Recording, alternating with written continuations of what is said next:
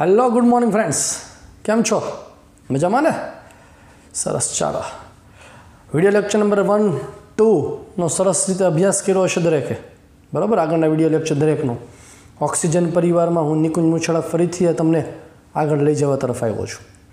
આગળના વીડિયો લેક્ચરમાં આપણે શેનો અભ્યાસ કર્યો હતો? તો કે આગળનો વીડિયો લેક્ચર છે એમાં આપણે ડાયોક્સિજન વાયુની બનાવટ, રાસાયણિક ગુણધર્મ, ભૌતિક ગુણધર્મ અને ડાયોક્સિજનને લઈને તેમના ઓક્સાઇડો, જુદા જુદા ઓક્સાઇડો, જેમાં સાદા ઓક્સાઇડ, મિશ્રિત ઓક્સાઇડ સબ ઓક્સાઇડ પોલી કોને કહેવાય? એ બધી ચર્ચાઓ છે આપણે આગળના વીડિયો લેક્ચરમાં કરેલી છે. હવે આપણે આગળ વાત કરવાની છે આજે આગળના વીડિયો લેક્ચર નંબરમાં, જેમાં આપણે ઓઝોન વિશેની વાત કરવાની છે. ઓક્સિજનનું અપર રૂપ છે, ઓક્સિજનનું અપર સ્વરૂપ છે, એ છે ઓઝોન. અને ટાઇટલ આપણે આપશું. શું આપશું ટાઇટલ આપણે? ઓઝોન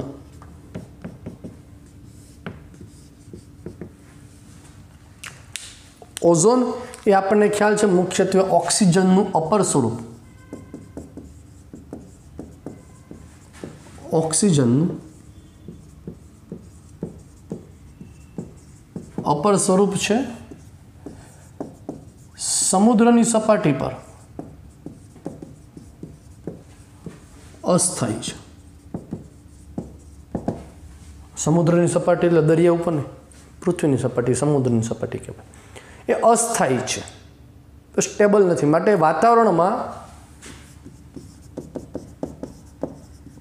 વાતાવરણમાં ઓક્સિજનનું સૂર્યપ્રકાશની મદદથી મદદથી ઓ થ્રી ઓઝોનમાં રૂપાંતરણ થાય છે. જે પૃથ્વી પર આવતા આવતા પારજાંબલી કિરણોથી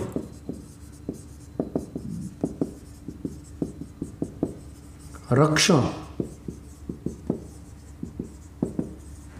આપે છે. આપણને ખ્યાલ છે. વાતાવરણમાં ઓઝોન સ્તર છે. હમણાં લોકડાઉનના પીરિયડને કારણે ઓઝોન સ્તરમાં જે ગાબડું પડેલું છે, એમાં ઘણું ઇમ્પ્રુવમેન્ટ થયેલું છે. આવા ડેટા આવેલા છે. બરાબર? આને કારણે શું થાય તો કે જે સૂર્યપ્રકાશમાંથી આવતા ડાયરેક્ટ પારજાંબલી કિરણો એ આપણી જે ચામડી પર, સપાટી પર અડે. લગભગ જે છે એ વીસ કિલોમીટરની ઊંચાઈ પર ઓઝોનનું લેર આવેલું હોય. પૃથ્વી દરિયાની, સમુદ્રની સપાટીથી. તો એ વીસ કિલોમીટરની ઊંચાઈ પર જે આવેલું ઓઝોનનું લેયર છે, એ પારજામણી કિરણોને એબ્સોર્બ કરી લે છે. જેથી એ ડાયરેક્ટ પૃથ્વીની સપાટી પર આવતા નથી. જો એવું થાય તો સીધા જ સ્કિન ઇન્ફેક્શન એટલે સ્કિન કેન્સર જે છે, એ થવાની સંભાવનાઓ વધી શકે છે. બરાબર? હવે વાત કરવાની છે લેબોરેટરી લેવલ ઉપર પ્રયોગશાળામાં. છે વાતાવરણમાંથી થોડી આપણે લેવા જાવ ઓઝોન જોતું હોય તો. બરાબર ને? પ્રયોગશાળામાં ઓઝોન કેવી રીતે બનાવો? તો આપણે વાત કરશું ઓઝોનની બનાવટ ઓઝોનની બનાવટ લેબોરેટરીમાં ઓઝોન બનાવવા માટે મોટા ભાગે ઓઝોનાઇઝરનો ઉપયોગ કરવામાં આવે. ઓઝોનાઇઝર એટલે શું? ઓઝોન બનાવવા માટે વપરાતું મશીન, એને કહેવાય ઓઝોનાઇઝર. તો જનરલી ઓઝોન બનાવવા માટે ઓક્સિજનની, શુદ્ધ ઓક્સિજનની ઓક્સિજનની શુષ્ક હવાની હાજરીમાં હાજરીમાં, શાંત વિદ્યુત ભાર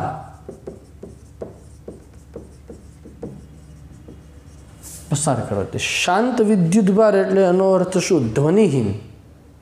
વિદ્યુત સાયલન્ટ ઇલેક્ટ્રિકલ ડિસ્ચાર્જ શાંત વિદ્યુત ભાર અથવા તો એને કહી શકાય ધ્વનિહીન.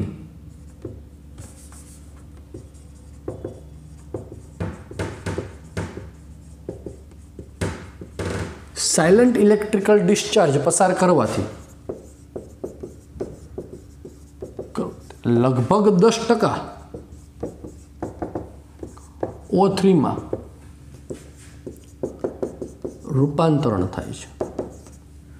એટલે ઓઝોન જે છે, ઓઝોનની બનાવટ ઓ ટુમાંથી ઓ થ્રીમાં રૂપાંતરણ જ્યારે થાય ત્યારે આ પ્રક્રિયા એ ઉષ્માક્ષેપક છે. પોઝિટિવ વેલ્યુ જે છે, ડેલ્ટા એચ આનો પોઝિટિવ વેલ્યુ એકસો ને બેતાલીસ. કિલો જૂલની આસપાસ આવે છે. એટલે કે પ્રક્રિયા અહીંયા ઉષ્મા ક્ષેપક છે. સોરી ઉષ્મા શોષક છે. ઉષ્મા તમારે આપવી પડે છે. બરાબર? હવે અહીંયા ઓઝોન જે બને છે એ ઓઝોનનું વિઘટન ન થાય, કારણ કે ઓઝોન છે અનસ્ટેબલ છે, અસ્થાયી છે રૂમ ટેમ્પરેચર પર. આપણે અહીંયા વાત કરી. હવે તરત ફરી પાછું ઓટુમાં રૂપાંતરણ ન થાય એટલા માટે એમાં સાયલન્ટ ઇલેક્ટ્રિકલ ડિસ્ચાર્જ પસાર કરવામાં આવે છે. સાયલન્ટ ઇલેક્ટ્રિકલ ડિસ્ચાર્જ હોય હાઈ વોલ્ટેજ જ, ઉચ્ચ વિદ્યુત વોલ્ટેજ જ પસાર થાય. પણ એમાંથી સાઉન્ડ જે ઉત્પન્ન થાય હાઈ વોલ્ટેજ તમે સબસ્ટેશન પાસે જાઓ, લાવ, જાઓ એવો જ આવતા હશે. તો એવો અવાજ જે છે ઉત્પન્ન ન થાય સાયલન્ટ ઇલેક્ટ્રિકલ ડિસ્ચાર્જ પસાર કરો કે જેથી આનું વિઘટન જે થાય છે એ વિઘટન થતું અટકાવી શકાય. ઓથ્રીમાંથી ફરી પાછું ઓટુમાં રૂપાંતરણ થઈ જાય. કારણ મેં કીધું એ પ્રમાણે કે સમુદ્રની સપાટી પર જે છે અસ્થાયી છે. એટલે કે અહીંયા રૂમ ટેમ્પરેચર પર જ્યારે તમે એને બનાવો છો, ત્યારે રૂમ ટેમ્પરેચર પર બસો અઠ્ઠાણું કેલ્વિને એ અનસ્ટેબલ છે. એનું વિઘટન થતું અટકાવવા માટે આપણે સાયલન્ટ ઇલેક્ટ્રિકલ ડિસ્ચાર્જ પસાર કરીએ છીએ. ખ્યાલ આવે છે દરેકને? તો આ સાયલન્ટ ઇલેક્ટ્રિકલ ડિસ્ચાર્જનો ઉપયોગ કીધો. દસ ટકા જ મળે છે, પણ હજી વધુ દસ ટકાથી. વધુ સાંદ્ર ઓઝોન જોઈએ જોઈતું હોય, તો ઓઝોનાઇઝર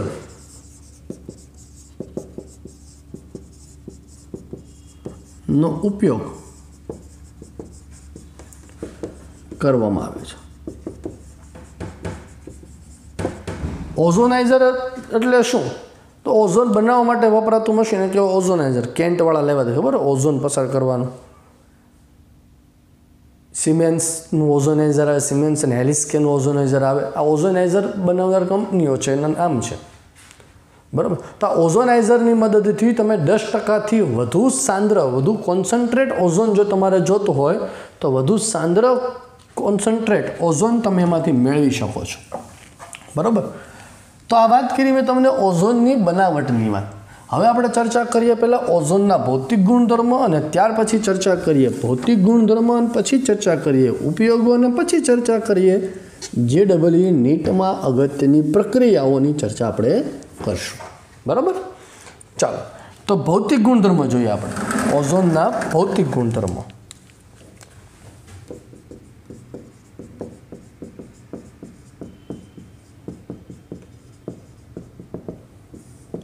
ભૌતિક ગુણધર્મ. મોટાભાગે ઓઝોન જે છે એ ઓઝોન વાયુ અવસ્થામાં હોય. ઓઝોન જે છે એ ઓઝોન વાયુ અવસ્થામાં લગ પણ એના ઘન પ્રવાહી અને વાયુ અવસ્થામાં એના કલર છે જુદા જુદા હોય. વાયુ અવસ્થામાં જ્યારે હોય ત્યારે આછો વાદળી.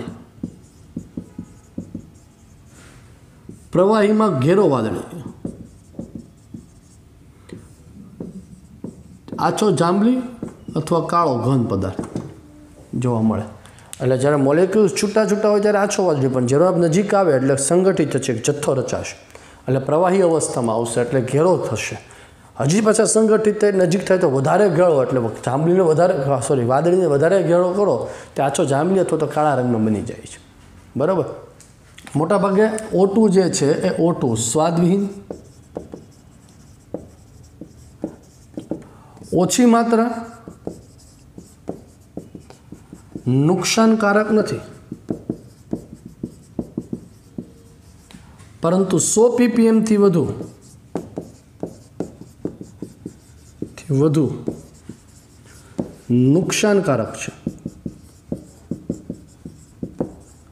શું નુકસાન કરશે? સો પીપીએમથી વધુ પ્રમાણ હોય તો એ નુકસાન શું કરશે? તો કે સો પીપીએમથી જો વધુ પ્રમાણ હોય તો એ માથાનો દુખાવો? દુખાવો, શ્વાસોશ્વાસમાં તકલીફ. શ્વાસોશ્વાસમાં.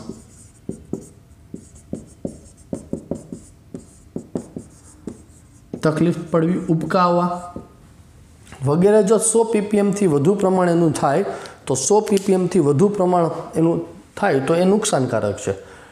ઓઝોનને જ્યારે સંગઠિત કરો, તો ઓઝોનને જ્યારે એકત્રિત કરવામાં આવે, ત્યારે એની આસપાસ પ્રવાહી ઓટુ વાયુ જે છે, ઓક્સિજન જે છે, એની આસપાસ પાત્રની આસપાસ રાખવામાં આવે. જેથી ઓઝોન જે છે, એ સ્ટેબલ રહે.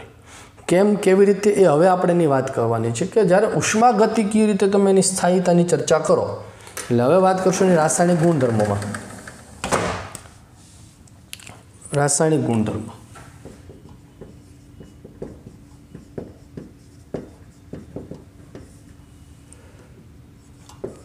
થ્રી ઓ ટુમાંથી ટુ ઓ થ્રી. રૂપાંતરણ થવાની પ્રક્રિયા ડેલ્ટા એચ આનો પોઝિટિવ હતો એકસો બેતાલીસ. આ પ્રક્રિયાથી. હવે અહીંયા ચર્ચા કરવાની છે થર્મોડાયનેમિકલી ઓ ટુ અને ઓ થ્રીમાંથી કોણ વધારે સ્થાયી છે તે આપણને ખ્યાલ છે ઓ ટુ વધારે સ્થાયી ઓ થ્રી ઓછો સ્થાયી. સમજવાનું એ છે કે અહીંયા ઓ થ્રી શા માટે ઓછો સ્થાયી છે? કારણ તો કે અહીંયા વિઘટનની પ્રક્રિયા, એટલે કે ઓ થ્રીમાંથી ઓ ટુમાં રૂપાંતરણ થવાની પ્રક્રિયા જે છે, એ પ્રક્રિયા માટે ડેલ્ટા જીની વેલ્યુ નેગેટિવ આવશે. કેવી રીતે નેગેટિવ આવશે હું હવે સમજાવું તમને. તો જુઓ ઓ ટુમાંથી ઓ થ્રીમાં જાય તો પોઝિટિવ એકસો બેતાલીસ ડેલ્ટા એચ છે. તો ઓ થ્રીમાંથી ઓ ટુમાં આવો તો ડેલ્ટા એચ તમારો કેવો થવાનો છે? તો કે ડેલ્ટા એચ માઇનસ એકસો બેતાલીસ થઈ જશે આ પ્રક્રિયા માટે. બરાબર?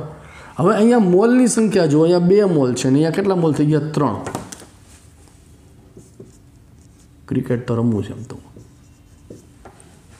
અહીંયા બે હતા, અહીંયા કેટલા થઈ ગયા? ત્રણ. વાયુરૂપ મોલની સંખ્યામાં શું થઈ ગયું? વધારો થઈ ગયો. હવે વાયુરૂપ મોલ વધ્યા એટલે અણુ મળ્યા, વધ્યા. અને અણુ વધે એટલે અણુઓ વાયુરૂપ અણુઓની સંખ્યા વધી એટલે અસ્તવ્યસ્તતા વધે. માટે ડેલ્ટા એસ છે, આનો પોઝિટિવ થવાનો છે. એન્ટ્રોપી વધવાની છે એટલે તો હવે તમે delta G is equal to delta H minus T delta S મૂકો, તો ડેલ્ટા એચ પણ તમારો કેવો છે? માઇનસ આ વેલ્યુ પોઝિટિવ છે એટલે ટી ડેલ્ટા એસ પણ નેગેટિવ રહેશે. તો આ પ્રક્રિયામાં ડેલ્ટા જી તમારો કેવો થવાનો? નેગેટિવ થવાનો છે. ડેલ્ટા જી તમારો નેગેટિવ થાય માટે ઓઝોનમાંથી ઓટુમાં રૂપાંતરણની પ્રક્રિયા એ આપમેળે થતી પ્રક્રિયા છે. એટલે એની જાતે જાતે ઓઝોન છે એમાંથી વિઘટન થવા માંડે, તો સૌથી વધુ સ્થાયી કોણ થયું કહેવાય? તો કે ઓ ટુ સ્થાયી ને ઓ થ્રી અસ્થાયી થયું કહેવાય. ક્લિયર છે? ચાલો, ફરીથી એકવાર સમજાવી દઉં, શા માટે ઓઝોન વધુ સ્થાયી, ઓછો સ્થાયી છે? ઓ ટુ વધુ સ્થાયી છે. તો આ તો હમણાં મેં તમને કીધું ઓ ટુમાંથી ઓ થ્રીમાં જાય તો પોઝિટિવ વેલ્યુ છે. તો ઊંધું વિચારો ઓ થ્રીમાંથી ઓ ટુમાં આવે તો ડેલ્ટા એચ કેવો થવાનો? નેગેટિવ થવાનો. વાયરૂપ મોલની સંખ્યા, અહીંયા બે મોલ હતા એમાં કેટલા થઈ ગયા? ત્રણ મોલ થઈ ગયા. વાયરૂપ મોલની સંખ્યા વધી. તો અવ્યવસ્થા વધે ને અવ્યવસ્થા વધે એટલે એન્ટ્રોપી વધે. તો ડેલ્ટા એસ તમારો કેવો આવવાનો છે? પોઝિટિવ આવવાનો છે. તો delta H minus T delta એસમાં delta H minus થશે. ડેલ્ટા એસ પોઝિટિવ એટલે આ વેલ્યુ આખી માઇનસ માઇનસ માઇનસ વેલ્યુ કેવી રહેવાની માઇનસ આવવાની છે. તો ડેલ્ટા જી તમારો એ નેગેટિવ એટલે એનો અર્થ શું થયો કે એનો અર્થ એવો થાય મિત્રો કે ઓઝોનમાંથી ઓટુમાં જ્યારે રૂપાંતરણ થાય ત્યારે ઉષ્મા મુક્ત થતી હોવી જોઈએ. માટે વધારે પડતો ઓઝોનનો જથ્થો પણ રાખવો, સંગ્રહ કરવો પણ હિતાવો નથી. એક ડબ્બો લીધો હોય રૂમ ટેમ્પરેચર પર, ધારો કે આમાં બંધ ડબ્બો છે ને, ઓ થ્રી આપણે મૂકેલો છે. તો આમાં જો વધુ માત્રામાં તમે ઓઝોન ભરશો તો એ વિસ્ફોટક થઈ જશે. કેવી રીતે? તો કે ઓ થ્રીમાંથી ઓ ટુ તો રૂપાંતરણ થાય જ છે. પણ સાથે સાથે ઉષ્મા પણ મુક્ત થતી જશે. હવે આ ઉષ્મા મુક્ત થતી જાય. જો એને મુક્ત થવા માટે રસ્તો ન મળે તો બ્લાસ્ટ થાય. બરાબર? એટલે વધુ પ્રમાણમાં ઓઝોનનો સંગ્રહ જે છે, એ ભયંકર વિસ્ફોટક જે છે, ભયંકર વિસ્ફોટ કરી શકે છે. ઓઝોનના એક અગત્યના ગુણધર્મની જો આપણે વાત કરીએ તો ઓ થ્રીમાંથી જ્યારે ઓ ટુમાં રૂપાંતરણ થાય ત્યારે એક નવજાત ઓક્સિજન નિર્માણ કરે છે. ઓ થ્રીના વિઘટનમાંથી ઓ ટુ બને પ્લસ એક નવજાત ફ્રેશ ઓક્સિજન મળે છે. આ ફ્રેશ ઓક્સિજનને કારણે ઓઝોન જે છે એ ઓઝોન પ્રબળ ઓક્સિડેશન કરતા તરીકે પ્રબળ ઓક્સિડેશન કરતા તરીકે વર્તે છે. બરાબર? હવે કેવી રીતે ઓક્સિડેશન કરતા તરીકે વર્તે છે એની આપણે પ્રક્રિયાઓ થોડીક સમજીએ કે ઓઝોન જે છે વાત કરી પ્રમાણે કે પ્રબળ ઓક્સિડેશન કરતા તરીકે વર્તે છે.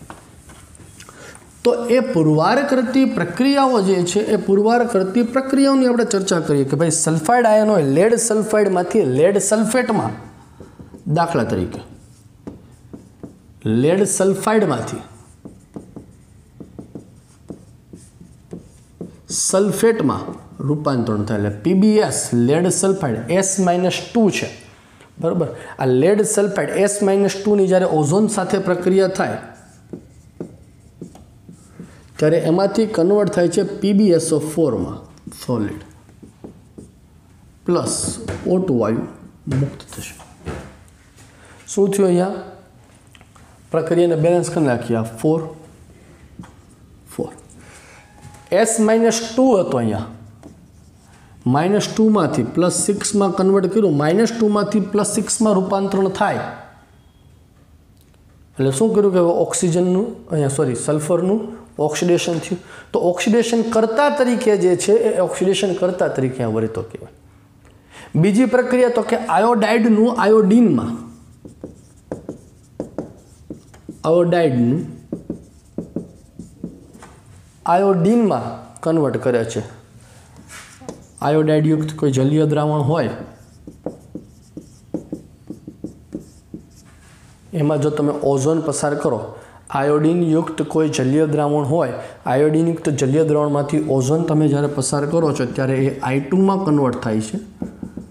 Plus twice OH minus one, O two વાયુ જે છે ઓ ટુ વાયુ બને.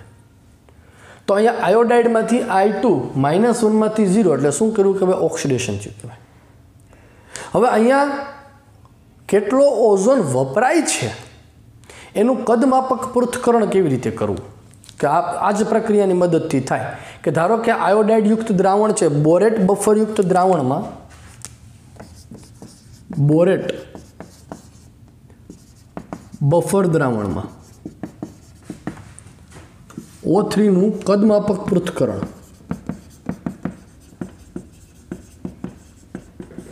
એ આયોડોમેટ્રી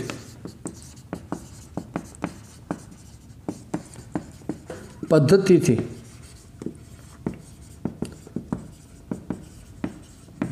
નક્કી થાય છે જો આઈ ટુ છે એ કથ્થાઈ રંગનો જે છે વાયુ ઉત્પન્ન કરશે. બરોબર? હવે અહીંયા કેટલો ઓઝોન વપરાય છે? આયોડાઇડયુક્ત દ્રાવણમાં કેટલો ઓઝોન વપરાય છે? અથવા તો એવું હું શબ્દ વાપરી શકું કે અહીંયા આયોડાઇડમાં આયોડિનનું પ્રમાણ કેટલું છે એ નક્કી જો મારે કરવું હોય તો આ પદ્ધતિનો ઉપયોગ થાય. જો આયોડાઇડમાંથી આઈ ટુ ઉત્પન્ન થાય છે, અહીંયા તમે એવું કહી શકો ખરી કે એક મોલ ઓઝોન જો વપરાય ત્યારે એક મોલ આયોડિન ઉત્પન્ન થાય. એક મોલ ઓઝોન જો વપરાય તો એક મોલ આયોડિન ઉત્પન્ન થાય. તો પ્રશ્ન એ થાય સાહેબ, કેટલો આયોડિન ઉત્પન્ન થાય? હવે જે આ ઉત્પન્ન થતો આયોડિન છે, એ ઉત્પન્ન થતા આયોડિનનું થાયોસલ્ફેટ વડે પૃથ્થકરણ કરવામાં આવે.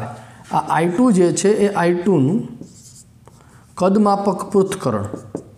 ઉત્પન્ન થતા આયોડિનનું S two O three thiosulphate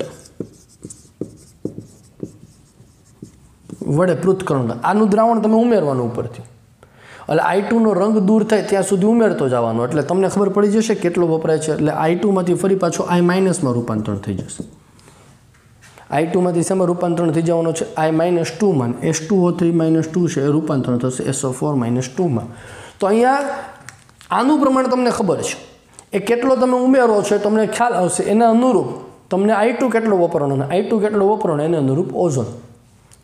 આ જસ્ટ ફોર નોલેજ માટે છે. ટેક્સ્ટ બુકમાં પ્રક્રિયા આપેલી નથી, ખાલી એટલી જ વાત કરી છે. પણ મેં તમને સમજાવવા માટે ટ્રાય કરેલી છે. કે આ પ્રકારની પદ્ધતિ છે ને આયોડોમેટ્રી પદ્ધતિ કહેવામાં આવે છે કે જેના મદદથી તમે આયોડિનનું કદમાપક પૃથ્થકરણ થાય ને એ આયોડિન ઉત્પન્ન ક્યાંથી થયો છે? ઓઝોનથી. બરાબર છે? ચાલો. ત્યાર પછી વાત કરીએ કે ભાઈ ઓઝોન જે છે એ ઓઝોન એ નાઇટ્રોજનના ઓક્સાઇડ, ખાસ કરીને નાઇટ્રિક ઓક્સાઇડ સાથે છે એ સરળતાથી પ્રક્રિયા કરી શકે છે. નાઇટ્રિક ઓક્સાઇડ જે છે, નાઇટ્રોજનના ઓક્સાઇડ સાથે સરળતાથી પ્રક્રિયા કરે છે. નાઇટ્રોજનના ઓક્સાઇડ, ખાસ કરીને નાઇટ્રિક ઓક્સાઇડ સાથે સરળતાથી.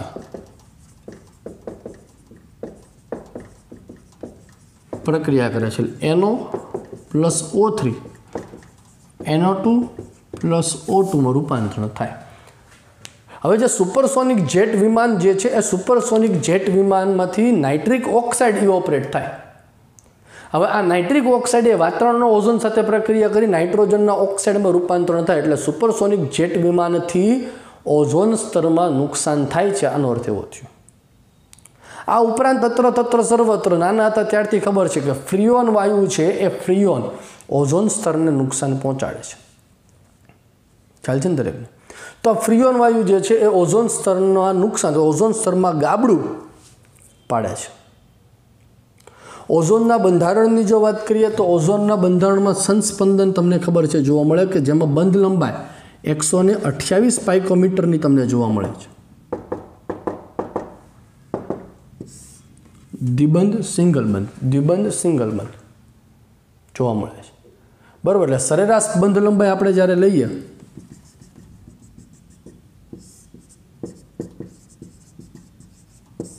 એકસો ને અઠ્યાવીસ પાઇકોમીટર છે એની બંધ લંબાઈ જોવા મળે. એ બી ટુ ઇવન પ્રકારનું આનું બંધારણ તમને જોવા મળશે. તો આ ઓઝોનના બંધારણની વાત. હવે વાત કરીએ ઓઝોનનો ઉપયોગો.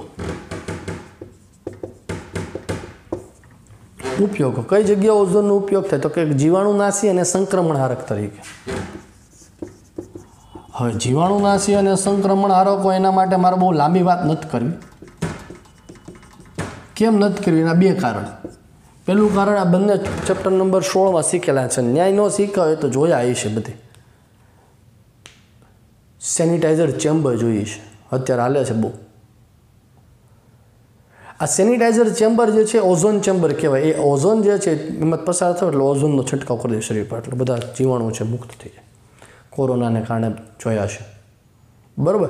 તો એ ઓઝોન, એ સેનિટાઈઝર ચેમ્બર જે છે સેનિટાઈઝર ચેમ્બરમાં આ ઓઝોનનો ઉપયોગ થાય છે. બરાબર? આ સિવાય તમને એવું બીજા એક્ઝામ્પલની વાત કરું કે તમે આપણે ફાઉન્ટેન જોઈએ છે, ફુવારા. બરાબર લેક ગાર્ડનમાં તમે જાઓ તો જ્યાં બંધિયાર પાણી હોય, જ્યાં પેક પાણી હોય, ત્યાં હંમેશા ફુવારા રાખેલા હોય. જોજો તમે. આનું કારણ શું? એની ફુવારા પાસે જાઓ તો બહુ સરસ મજાની એક સ્મેલ આવતી હશે. સુગંધ, આમ પાણીની તમને લાગે, પણ સુગંધ અલગ લાગતી હશે. તે ફુવારા છે એ સો પીસને નથી, બે કામ થાય. ફુવારા છે એમાંથી ઓઝોનનો સ્પ્રે થાય. એટલે પાણીમાં જેટલા જીવાણુઓ હોય છે, પાણીમાં રહેલા જીવાણુઓ છે એમાંથી મુક્ત થઈ જાય. એટલે જે છે, એ ફુવારાનો બે ઉપયોગ થાય. એમાં બંધિયાર પાણીમાં જો કોઈ જીવાણુ હોય, તો એ જે બંધિયાર પાણીના જીવાણુ દૂર કરવો અને એક સોનું સો થઈ જાય. એટલે એ ફાઉન્ટેનનો ઉપયોગ મોટા ભાગે કરવામાં આવે છે. આ ઉપરાંત બ્લીચિંગ એજન્ટ તરીકે વિરંજન ક્રિયામાં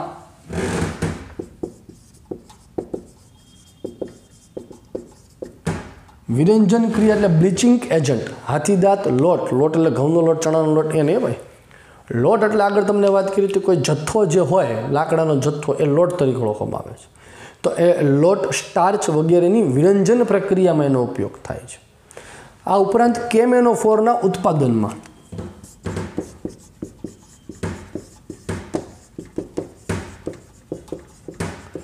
કેમેનોફોરના ઉત્પાદનમાં. પોટેશિયમ પરમેંગેનેટના ઉત્પાદનમાં ઓક્સિડેશન કરતા તરીકેનો ઉપયોગ થાય. કેવી રીતે થાય છે એની આપણે હમણાં જેડબલી નીટના ટોપિક જ્યારે આમાં જોઈએ છે ત્યારે ચર્ચા કરશું. બરાબર? તો આ વાત કરીએ આપણે ઓઝોન, બનાવટ, ભૌતિક ગુણધર્મો, રાસાયણિક ગુણધર્મો અને એના ઉપયોગોની. હવે જેડબલ્યુ નીટ રિલેટેડ એક્સ્ટ્રા જે પ્રક્રિયાઓ છે એની હું તમને ફટાફટ ચર્ચા કરી નાખું છું એટલે ઓઝોનનો ટોપિક આપણો પૂરો થશે.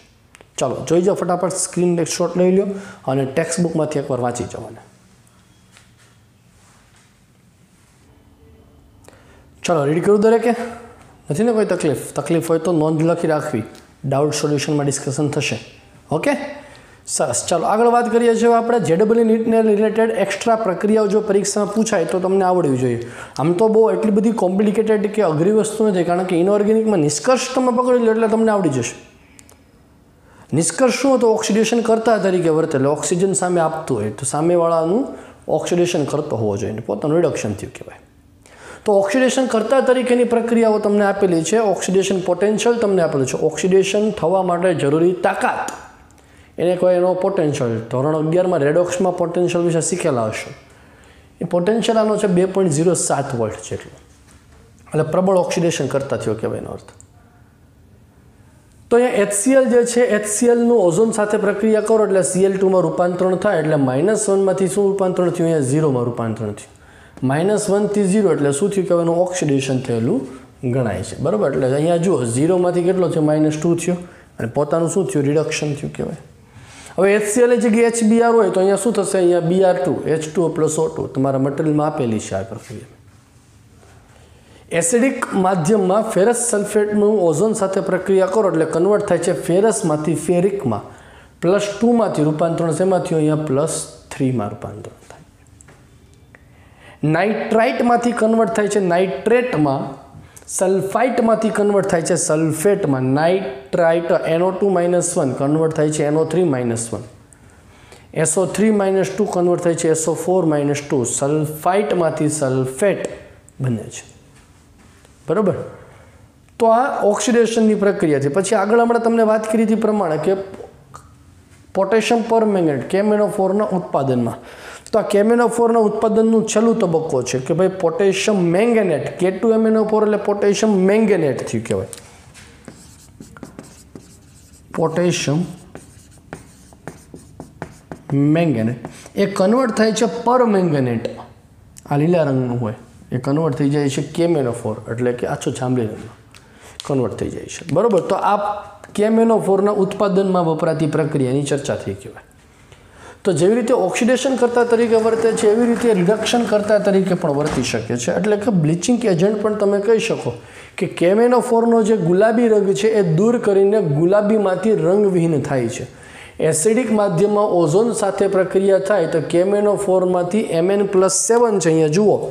અહીંયા મેંગેનીસ કેટલો છે? પ્લસ સેવન પ્લસ સેવનમાંથી કન્વર્ટ થાય છે. પ્લસ ટુમાં કન્વર્ટ થાય છે. એટલે અગિયારમાં ધોરણથી શીખતા આવો છો. કે કેમેનોફોર એસિડિક માધ્યમમાં ઓક્સિડેશન આંકનો ચેન્જ હંમેશા પ્લસ પાંચનો જોઈએ એટલે સેવનમાંથી પ્લસ ટુમાં રૂપાંતરણ થયું કહેવાય. બરાબર? એટલે અહીંયા રિડક્શન કરતા તરીકે વર્તે છે.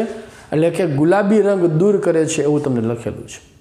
આ ઉપરાંત કેટુ અને પોટેશિયમ ડાયક્રોમેટ છે એના નારંગી રંગમાંથી એને લીલા રંગમાં કન્વર્ટ કરે છે. એટલે અહીંયા કેટુ સિયાટો સેવનમાં ક્રોમિયમ પ્લસ સિક્સ છે એ કન્વર્ટ થઈ જાય છે અહીંયા પ્લસ થ્રીમાં હવે જે લીલો રંગ ઉત્પન્ન થાય છે, કોને કારણે આભારી ઉત્પન્ન છે? તો કે પોટે, ક્રોમિયમ સલ્ફેટને કારણે ઉત્પન્ન થાય છે.